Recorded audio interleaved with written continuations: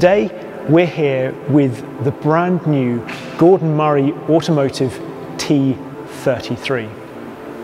And a very pretty car it is, I think you'll agree. There are all sorts of hints of 60s sports cars in there. It reminds me a little bit of a Porsche 904, one of my favourite looking cars of all time.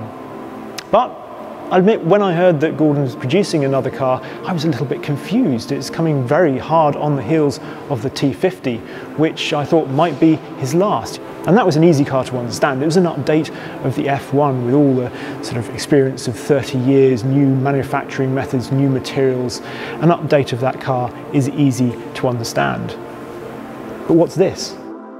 If you just look at the facts and figures, then the T33 appears to be surprisingly similar to the T50. Carbon chassis, double wishbone suspension, and a naturally aspirated 3.9 litre mid mounted V12 driving the rear wheels. It's down on revs and power, but only by a bit.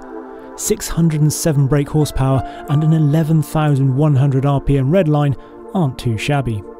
Weight is up too, but again, not by much the T33 tipping the scales at just 1,090 kilos. It measures just 49mm longer overall, a mere 35mm longer in wheelbase, and it's an identical width. So, is this a two-seat T50 without a fan? Or are there fewer similarities than the specs suggest? There's only one person to ask about all this, isn't there? It's Gordon himself. Just in case you're not familiar with Professor Gordon Murray, CBE, he is a collector of t shirts, a jukebox fanatic, a soapbox race organiser, a Bob Dylan aficionado, and designer of some of the most famous race and road cars ever, amongst other things. And at 75 years young, he doesn't appear to be slowing down. So, why did you want to make T33? That was very much a sort of a what do we do next? Because 50 is so extreme, and, and, and the things that put it to one side, you, you, you know, we just, it'll sit, sit there forever, hopefully. That's the central driving position, sub 1,000 kilos and 12,000 revs. I mean, that, it sits up on a pedestal. So what do you do after that?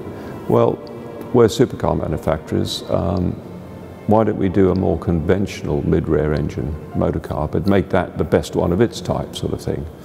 Um, so that was the decision. We did, we did consider a, a lot of other, other layouts and other cars, but it seemed logical that because T50 was so extreme and so special, that the next one would, should be something a little bit more conventional, if you like, um, than 50.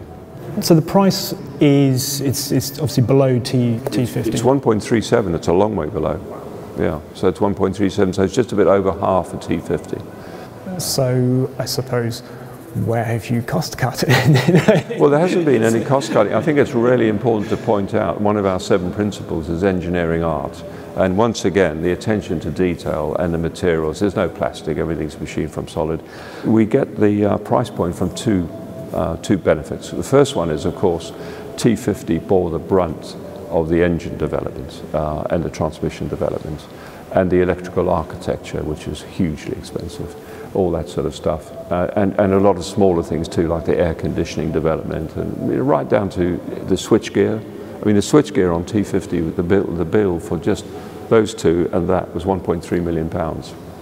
So, although we'll have different front ends, the back end of the switch will be the same. There's very few carryover parts, but that's one of them.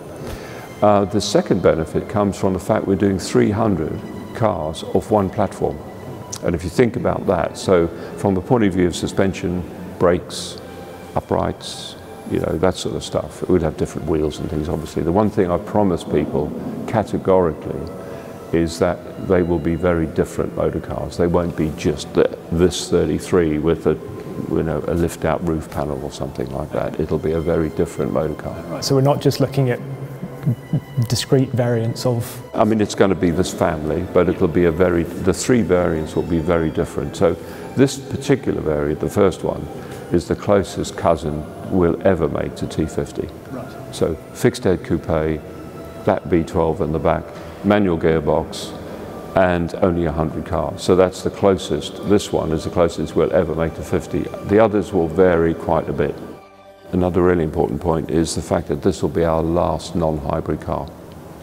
So as much as we can hold on, being small, flexible, and only having a 36-month cycle time for a product, we can hold on to a V12 much longer than a bigger company can, and we can be the last little flag waving. But nevertheless, we've worked out that the next, so project three, let's call it, will have to be a hybrid. Our promise to people, though, is whether it's hybrid or even full electric one day, we'll always make the lightest, the best engineers, and the most fun to drive. That's where we, we are coming from. So in, in terms of the, sort of the driving, is it going to be, is it still that, is it, is it more GT? Is it more sports car? Is yeah, I don't like the GT. I know there was mention of GT in one of our early press things, but I, I think I, I, I sit, sits uncomfortably with me with a mid-rear engine car. You know, the thing's got a better powder weight ratio than a McLaren F1. It's not really GT. It was more about the opportunity to do this architecture, but in a car I've had in my head for 25 years from a styling point of view. I've always wanted to do a car that uses all the 60s influence. I mean, grew up with the 60s, of course, and, and sports cars, but also sports racing cars, my favorites from that period, which are still gorgeous today, you know, like the 206 Dino SP and the the Miura and the 33 Stradale and the, the Vallelunga, De Tomaso Vallelunga, some of the Porsches, the 904s, 906s, 908s, cars like that. So I'd always wanted the opportunity to do that. And with 50, uh, like the F1, you can't because the central driving position pushes the pedals forward about 280 mil. So it's very forward cabin look, and you can't do a, a sort of a classic looking car. It's more sort of spaceship type forward cabin. And with T50, we decided to go even more extreme and we moved the screen forward another 30 mil from the F1. So it's even more forward cabin with a very short bonnet. So these proportions just don't work really. But once you've moved the driver back outside the wheel arches again, you know, um, you can go back to the sort of 60s classic proportions. But the last thing we wanted to do was a retro car. You know, I, I, I just don't like that idea very much. um, so it was really just using those proportions and those influences and doing a brand new, crisp, modern, very clean motor car. And the team I'm working with now are probably the best I've ever worked with, both on the engineering side, but also the styling studio. We have a tiny team of people. Kevin Richards and myself, my creative director, we've worked together for 27 years, so we know exactly how we, we think and, uh, and we have a very small team of very talented people in the studio, so it was quite easy to get my early sketches started on, on what was uh, to become the 33. You know. And, and what are the things that you're thinking about and aiming for in a design? Because it's easy to say, sort of, I think everybody understands the whole the 60s beautiful cars, but then with your eye, yeah what makes them beautiful and what have you tried to include in this? Well, it's, it's two big things. First thing is proportion. proportion with, uh, with these cars is absolutely everything. You know, the, the classic rules like with a rear mid-engine car, you have a long front overhang and a very short rear overhang. With a front engine car, it's the other way around. For example, once you break those rules, you're never going to get anything pretty. Um, and if you look at all the 60s cars, they're very much like that. It's then about classic shapes, you know, not trying too hard. Because we're a really small company, uh, we can fly in the face of current style and current trends, if you like, and that's exactly what we do. There seems to be a sort of race on at the moment between supercar manufacturers to make the next one more outrageous than the last one. So we've stuck to classic form as well as proportion. So if you look at if you look at 33, the, the, the, muscles over the front and rear haunches and the little pinch line and stuff like that.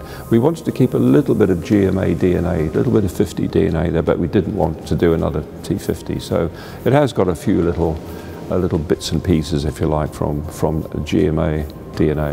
Things like the headlamps are a really good example. If you look at 60s cars, they were all one above the other and the graphic for the headlamps was always quite long and narrow and it always ran right down to the front opening. Um, if you look at any of the cars, your Vallelunga, you know, any of the Dinos, um, that was very much uh, a signature, if you like. The same on the rear of the car, all these modern humps, humps and curves and things, they were, they were quite linear at the back, quite simple and mechanical and you know LED lights now these days just because you can people it drives me. It's the worst thing on modern cars for me is, is the LED lights, you know, stuff that's going to look awful in 10 years' time. Um, so sticking to something very technical and round like we have on the rear and not introducing too many open ducts and slots where you don't need them. I think one, one of the great lessons from the 60s is there's nothing on this car that, that doesn't have a function. So there's nothing there for just styling's sake, whereas that's the absolute opposite on, on even some of this sort of um, older OEM supercar OEMs that should know better now. There's stuff appearing all over the place that has no aerodynamic function whatsoever.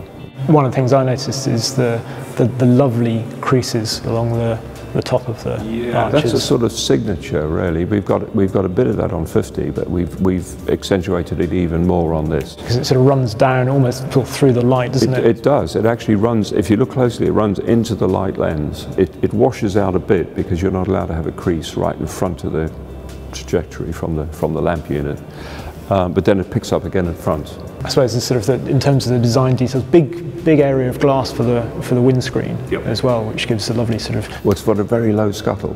F1 and 50 have probably the lowest scuttle of any supercar, and yet, well, you've driven an F1. You can see the road. It's like it's like a PlayStation, isn't it? You can see the road right in front of you, and this has got exactly the same scuttle height. So it's more to do with the, the size of the windscreen It's more to do with the scuttle height than anything else. And obviously then we've got this sort of this band over the top um, the car is almost a sort of a slight sort of target yeah, sort of uh, look to it. We've learned so much since we've done this car actually. The, the vision I had for the car was of what you're looking at, where you have uh, the, the roll hoop, let's call it, and the airbox uh, all in body colour. And that was what I had in my head when I started styling. However, our, we've got some very clever guys on, um, on the rendering of, of, the car, you know, and doing graphics and stuff and putting it up on the screen. And uh, George, who's our wizard, he started playing with uh, different colours and wow, you know, Kevin and I were just looking at it and saying, it just changes the car completely. We're going to have so much fun specking these cars because if you take that rollover bar and make it carbon, it's all carbon underneath anyway, the whole body's carbon. You make that carbon and make the airbox carbon so you get a complete greenhouse, black. Make, looks like a completely different motor car. But then the even better one is if you had, if you imagine that car's a bright blue or red or whatever, and then you put a silver rollover bar, it's got a very Targa look, and then you could have the airbox body color or the airbox carbon. And we started playing, just started playing on the screen, and it, it makes the car look so different, which I, it wasn't part of my plan at all. You know, I, I planned it like that. I want to get onto the engineering side of it. I know you love the design as much as the engineering, um, but before we do that, T33, why 33? When we started the GMD 15 years ago, um, we were up to T24 in my car, so the first car we did was naturally T25. It just means type, basically, and nothing new. And um, we've roughly been chronological in dishing out numbers. However, um, there's, there's a short and long story. The short story is once again, Kev Richards and myself sat down and looked at all the numbers when we started GMD, and there were a few numbers we just liked and, and banked. You know, it's very much like um, somebody like Ducati picking 888 or 916 or whatever. They're just numbers sound good. And 33 we liked, so we banked that for something one day. We banked 50, of course, and a couple of others which will appear later. As we got towards talking about celebrating 50 years with a, with a motor car, 2017, we were already doing T47 and T49, so it was logical that we use 50. That's the short version. The longer version is uh, going way back, I had this romantic notion that one day I'd like to do a little sports car and it had to have a small capacity V12. This is long before T50. And um, romantically, I just thought 3.3 litres. What about a 3.3? Four litres even seemed too big for me, a 3.3 litre. And, you know, we, we pushed around a few ideas, but then when we got towards 2017, and in fact 2018, at the end of 18 was the first time I sat down with Cosworth to talk about a V12. And I, I put on the table a 3.3 but I said the car would have to have more push than a McLaren F1. I didn't want to go backwards, you know, and it would have to feel better than an F1. They calculated we'd have to make the car under 900 kilos to do that with 3.3. Uh, we had a quick sit down and we decided with, with aircon and airbags and everything these days, we were never going to get more than 900 kilos. So we did a bit of reverse engineering, said, well, what can we build a car to? And we reckoned 1,000 kilos was doable. So we went back to Cosworth and they did the sums and they said, well, then you need a, a four litre to be quicker than a, an F1. Um, and that's how it happened. So the 33 sort of, it, we just pulled it back out of the bank because we just liked the number, but it was going to be for the engine capacity. Like a 250 LM, I think had 3.3 Colombo V12, didn't it? I think. Yes, they did go up to 3.3. That's right. That's right. Well, the 330s they called them, didn't they? That leads us on to the engine because it's obviously closely related to the T50 engine, but it's different. It's the same and it isn't. It's certainly based on 50, of course. You know, the amount of um, time, effort, and, and cash that went into doing a brand new V12. So, you know, the basic uh, bore and stroke, the block, the crank, and the basic cylinder head castings are the same. But once again, Cosworth had a bit of a clean sheet of paper from the point of view of characteristic of the engine. And uh, knocking a thousand revs off the top is, is quite significant on, on a high revving engine with um, design, the design of the uh, combustion and the camshaft profiles and all that sort of stuff. So um, T50 already had a, an unbelievable starting point. In fact, when I started talking to Cosworth back at the end of 80, 2018 about the V12, um, I ended up with a very bad case of red face because I, I, was an engine designer initially, so I should have known better. And um, it was about the, the engine revs. When I first said to them, you know, could we have 12,000 revs, there was a lot of sucking of teeth and pregnant pauses. But they, they did come back quite quickly and say they thought they could do on valve springs, they, with a four litre, they thought they could just get to 12, 12.1. And I thought, you know, when I grew up, you either, in the 60s, you either had revs and, and power, or you had torque delivery, and that was it. And there was the, the laws of physics said you, there was no way around that. Um, so I said to them right from the beginning, I'd like two modes, and I don't care if the sort of drop the kids off to school mode is only eight, nine, ten thousand revs. I, I, really don't care. You know. Still pretty good. Uh, yes, still as good as anybody else, sort of thing. And um, they said you won't need it.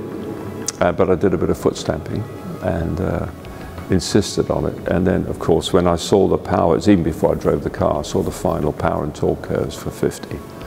And uh, I mean, it's just insanely torquey, the engine, low down.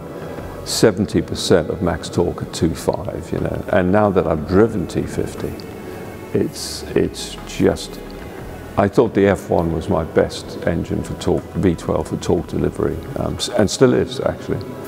Um, and being, you know, being six litres helps, of course, because it's proportional to the capacity. But um, wow, the, I, the, hill route at Millbrook, you know the hill route very well. Even the hairpin at the top of the hill. We'd just been benchmarking against um, Porsche 911 GT3, the new one. Jumped out of 15, jumped into that uh, which is fair to be honest. But they're both four litres, I think. So, yeah. And of course, the Porsche's got nothing below 5,000 revs. Absolutely nothing. Feels like a VW Golf. You know. And uh, but six to nine, it's magic. Absolutely beautiful. Screams up. But they've obviously sacrificed everything for that push from six to nine. Admittedly, it's supposed to be a sort of a track car. But then you jump into 50, I went round the hill route, changing gear like I had done in the, in the 911. And then it, it was ridiculously torquey, so I left it in fifth gear and I went round the hill route in fifth, including the hairpin at the top. And that just shows you. So Cosworth having once again a clean sheet of paper, of course the building blocks of the engine are the same. They've, they've just worked their magic again. So just losing the thousand revs off the top has meant this has got 75% of max torque at 2.5, but much more mind-bogglingly, it's got 90% of max torque from 4.5 to 10.5, which is incredible for an engine that to 11,000, you know. Um, so they've done a magic job, and they've done that by obviously redoing the heads of it, um, new cams, new cam timing, of course. But it's also a brand new induction system, quite a different induction system from 50, and a very different exhaust system as well. So they've, they've used that, and of course all their other tricks like twin port injection and their tumblers for combustion, and, and they've worked their magic around that and got it even even more drivable. But, you know, which is, you know, you don't need to be more drivable, but, but it is. So has it changed with the, the induction then? Itself? It's just a completely different airbox. So on the on 50, we've got a, a settling chamber, plenum chamber, and then four separate throttle bodies going into the RAM induction box.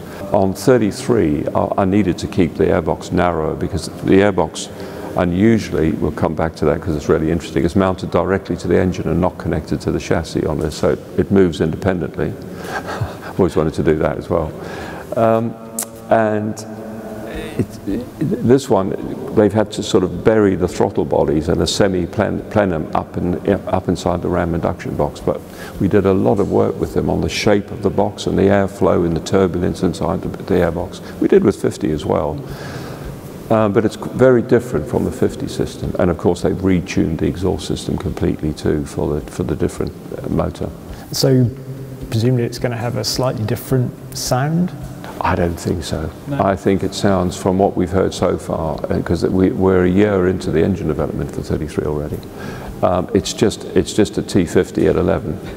and potentially in that case, it's going to sound almost even better because you can sit. You're sitting to the side. Because famously in the F1, the best place to sit for the sound was in one of the passenger seats. True. Yeah. And of course, we're still tuning the roof panels on 50, and we will on this as well. So you get the induction, the growl that you got on the F1. At the moment on 50, that's only starting at 4.5, the induction growl, which is a throttle opening thing. Um, whereas on the F1 it started lower than that, at 253. Um, so we've still got to tune the roof to maybe move that down the rev range a little bit. The airbox is, uh, is I've just, I've always wanted to do that, just because you can, you know. So it's like a 70s Formula One car, where the airbox is literally bolted on the engine. On 50 and F1 and a lot of all the other cars that have a ram induction opening in the roof, it's part of the monocoque or the body. But on this, it's actually bolted to the engine. So at idle, you're going to see the, the airbox moving like one of those hot roddy front engined American cars with a supercharger sticking out the top, you know. Moving from engine, I'll stick with the drivetrain, I suppose, and because we have a choice of gearboxes. More Gordon Murray mistakes. Um, I, I, sat down with the team a couple of years ago because obviously, you know, we, we, we had to have something ready as the last 50S rolls off the line. We've got to keep the people busy. And we started talking about, as I said earlier, what we should do. Once we decided on a, a two-seat rear mid-engine car, you know, I put forward just, just to broaden the appeal a little bit. Um, why don't we offer left or right hand drive? Normally, under a few thousand cars, people don't do that because they, they're terrified of it. But actually, it's just intelligent design. If you design the mountings into the framework from the beginning. You know, it's, it's the same at 50 and this car too. We have a seating buck and we offer different pedal positions. So once it's designed in, it's not that big a deal with 100 cars. You know, so I said, well, why don't we offer left and right hand drive, and why don't we offer the option of a paddle shift, and uh, you know that'll broaden the appeal. And there was a lot of muttering about, well, that's another few million quid on the development program and stuff. But I convinced everybody that we should do, we should offer it. We've been quietly pre-selling cars um, before the launch, like we did with 50. We sold more than half the cars, and so far there's only three people that have picked a paddle shift. So egg on the face again. so, um, so we could get to the 100 cars after the launch and only had a handful of people that are selected uh. I suppose it's because we advertise ourselves as, you know, driving perfection is our motto, if you like, and uh, we, we advertise ourselves as concentrating on nothing else but the driving experience. So I, suppose I shouldn't be surprised. I just thought, I just thought it would be interesting uh, to offer a paddle shift. However, having said that, it's a brilliant paddle shift. It's the fastest road car gear change in the world. Um, there's zero uh, torque interrupt it's very clever. It's, you know, other people boast about three milliseconds or five milliseconds. You know, this is nothing. it's a pre-selector box. It's what they call an, an uh, IGS, instantaneous gear change system, I think they call it. And it's, um, it's a pre-selector, so the box, uh, as with all paddle shifts, the box, the software works out if you're going up or down the box or what gear you're going into. But let's assume you're going up the box and you're in second and you want third it's already in both gears, and then you just let go of second, basically, and it's, it's zero torque interrupt. So it's, yeah, so the fastest. So once again, we're breaking like like the T50 engine broke records with the fastest response, the highest revs, the big, uh, highest power density. This this is on the record books again.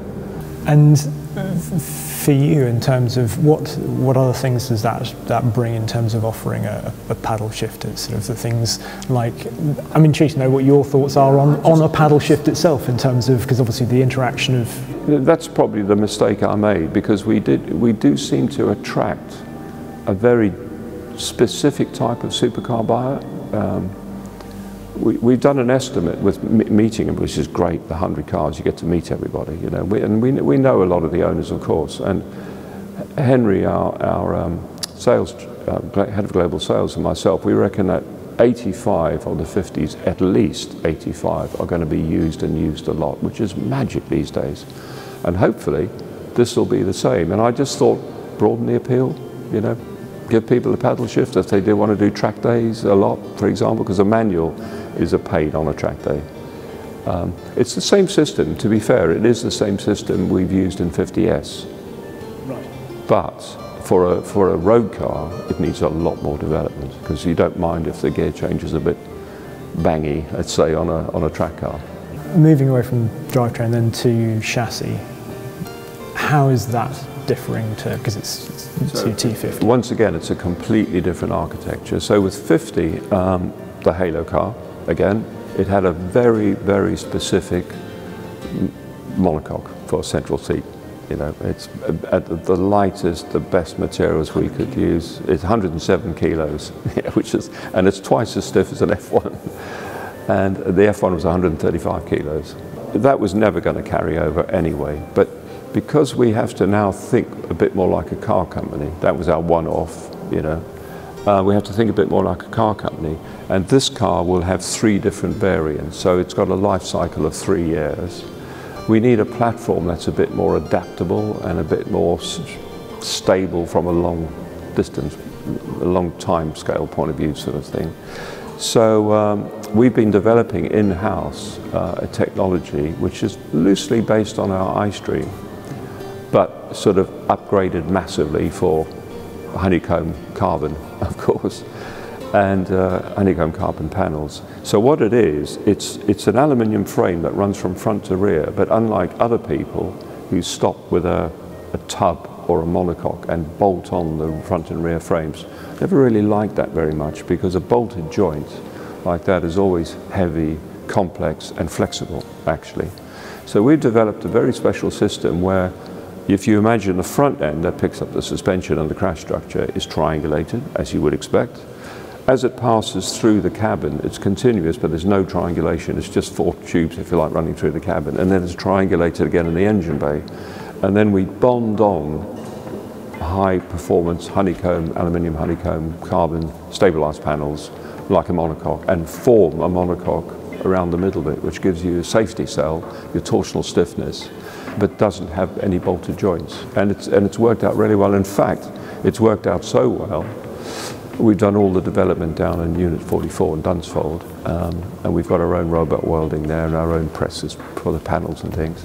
We're actually thinking about potentially making all the frames ourselves for 33 instead of putting it out, uh, like we put the monocoque out for 50 all new suspension as well. Because it's still double wishbones all round, yeah. obviously, but, but explain the difference in... So the difference is once you go to a two-seater, you've got a much wider uh, front monocoque. So of course, the T50's got much longer wishbones because very narrow monocoque in the, in the middle. So we had to redo the front end. Otherwise, I would have carried over the front end. The rear, um, the system is carried over. So we still have a semi-structural powertrain with our inclined shear axis system. That's all identical to 50. Different components, but the philosophy is the same. But once again, all the, all the actual components are different. So the wishbones are different, the uprights are different. Um, we just took the opportunity to do something that we could reproduce over a, over a sort of more easy, over a longer period, really. And anti-roll bar at the front, no anti-roll bar at the rear. Just explain to people because it's one of those things that sort of obviously the F1 famously doesn't have. Well, my Formula One cars never had rear anti-roll bars. We were the only Formula One cars ever not to have rear anti-roll bars. So explain why. Well, it's just it's just ridiculous, you know, when you look at the basic physics of, of roll compensation in a motor car. Um, you're, you're trying to you're trying to stop uh, you're trying to stop the roll in, in a corner and you can if you get your frequency balance and the and the percentage you don't go too crazy on the percentage of roll compensation that's coming from the roll bar. You can do it all at one end. The reason why I never do it at the rear is you go to all this trouble for traction particularly in a racing car funny enough to get the the best possible traction you can have with the best possible independent suspension. Not too much anti-squat you know otherwise you, you take away the feel and and the traction. Just the right amount of anti-squat and then you join, you join the left and right hand axles with a, with a bar. It's, it's, it's nonsense. So on a one wheel bump, you know, coming out of a corner on a on roll or a one wheel bump, you're unloading one side of the car artificially, which is nonsense. You know, not if you want the best traction, you don't join the axles. I noticed in the press release there was a SVS Sports pack. So, so, what was that? We're offering that on any car we build. So that is, um, I, I, don't do, it's like I don't do cars with low ride heights. I don't do cars with stiff suspension. I'd never like that. If you look at pictures of an, well, you keep forgetting you've driven an F1. If you look at videos of an F1 on a track, it pitches and rolls all over the place, you know. And we offered what we called an LM pack on the F1, which had uh, different damper settings, bump rubbers, springs, ride heights a little bit more downforce as well. And so what we'll always offer is, is what we call an SV, so special vehicle uh, pack. Um, that is just stiffens the car up a little bit. So if people want to take the car to a track a lot, or just like the car a bit more taut, if you like, um, we'll always offer that on any car we do, even on 50. You know, we're, we're going to be offering, if people, if they take delivery of the car and they go, too comfortable, too soft, they can bring it back and we'll, we'll have a, a step up. Moving on to the aerodynamics, what I want to talk next. Um, obviously there's no fan on the rear of this. By accident we learned a lesson with the fan and once again I didn't want splitters and things on the car. I mean a 60s car with a big splitter sticking out the front just isn't going to work is it? So we cheat a little bit. We've got two really big diffusers in the front wheel arch underneath which make two-thirds of the front downforce we need to balance the car. Can you just explain that? Because I think people are used to sort of the idea of diffusers at the rear of the car. Yeah, so you take a slug of air, you've got, if, if you're looking at the, the air approaching the car, you've got the slug of air that hits the front tyre, and then you've got the slug of air that goes under the monocoque, and then you've got the wheel arch.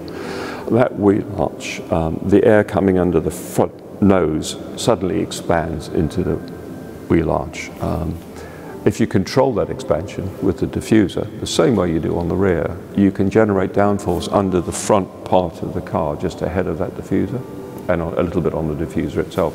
So we've got two quite big diffusers, but they only make about two-thirds of what we need to balance the car. Second point is our target wasn't as much downforce as 50, but the accident, the happy accident, was that in, in, the middle of the hundreds of runs we were doing with this was dramatic diffuser on 50. I mean, I can't wait to show people, well, we're showing owners already the actual component. They can't believe the air will follow that, you know. Um, it just jumps up literally from the kick point, about that high. And, and you switch the fan on and it's like the boundary level from the air goes, you know, and you instant downforce. When we switched the fan off with one of the profiles, we didn't lose all the downforce. We still kept about a third so we well, hold on, what's happening here? You know, and we worked out it was the um, because of course the the fan and the ducts all all end in the base suction.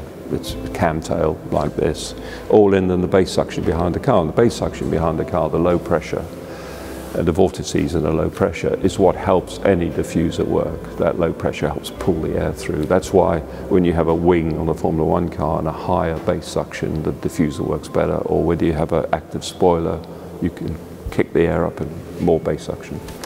So uh, we thought, well, the duct itself is pulling air through from the base enough to actually get the air to follow some of that profile. So we started again and, and we looked at still step kick points point and st step steep profiles, but much less aggressive and starting a little bit further back until we got one that worked just with the base suction. So we're getting about a 30% increase on what, on what I would call a standard ground effect car by still having the same technology but just don't have the fan. And of course the fan you can have that at other speeds too, which you can't. This is absolutely car speed dependent now. But it's fun because it does mean that with a steep kick point like that and a steep diffuser, you make the downforce much further forward than you do with a gradual diffuser. Quite a long way, half a meter or so. Which means once again, we don't need anything on the front of the car to get the downforce figures. So it all fell, it was an accident though. Just run through a few of the other things. So wheels, very light wheels on this. Yeah, they uh, like 50. They're forged aluminium again. They're still carbon, carbon ceramic brakes, six-pot front calipers, four-pot, very similar. And once again, the tyres that you can buy anywhere. the, the, Michelin 4S, the Pilot 4S. Yeah. That's a fantastic all-round tyre, yeah.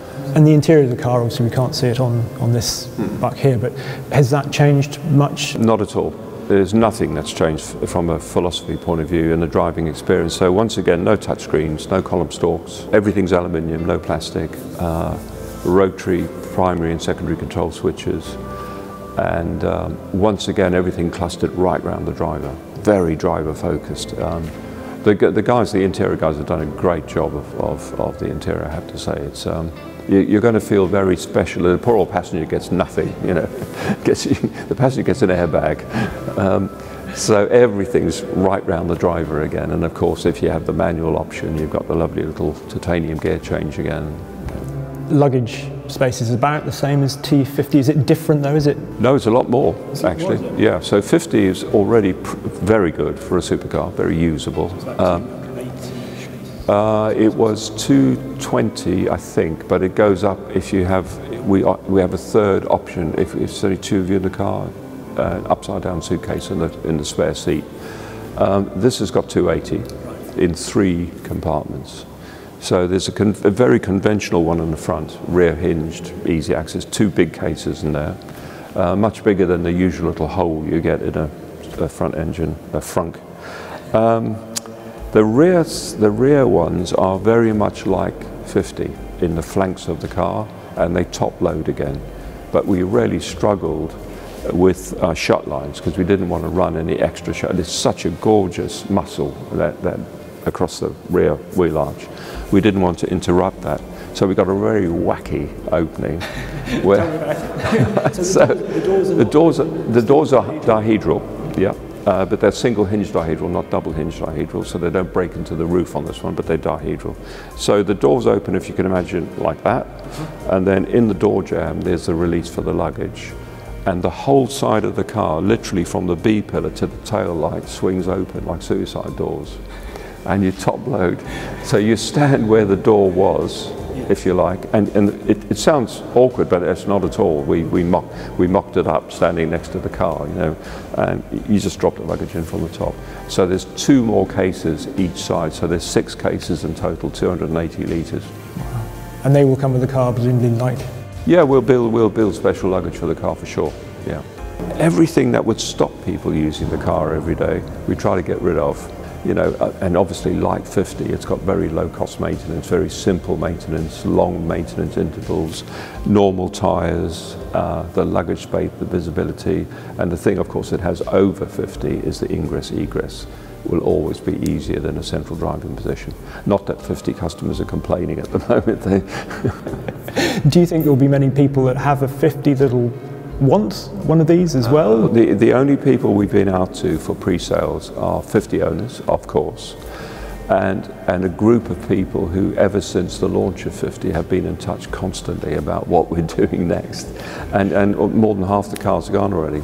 Fantastic. Gordon, thank you very much. It's indeed. been a pleasure. Hopefully that's given you an insight into the ethos of the T33. After talking to Gordon, I think much of it is born out of the realization that they can build it. The success of the T50 has proved that there is a real appetite for the sort of cars that Gordon and his team want to build, even at the sort of prices they have to charge. So, why not give the people what they want? Primarily, what Gordon wanted was for this to be a really pretty sports car, and I think the result is stunning. It looks so simple in pictures, almost to the point of being unfinished, but walking round it, the shape is beguilingly clean, yet also muscular. I actually think that it was the same with the T50. The purity of these GMA designs makes them stand out in the 21st century. And they should be pretty good to drive too. Hopefully, at some point, we'll get to find out. Hope you enjoyed that chat with Gordon and finding out a bit more about the T33. If you want to hear more of this,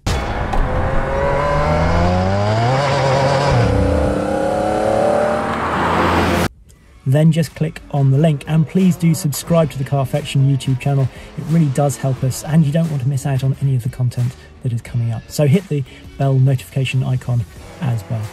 See you next time.